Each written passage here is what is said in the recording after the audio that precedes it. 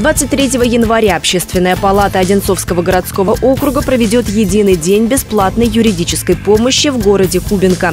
Жители муниципалитета смогут получить бесплатную консультацию специалистов по самым разным вопросам и проблемам. Соблюдение масочного режима и социальной дистанции по-прежнему необходимо.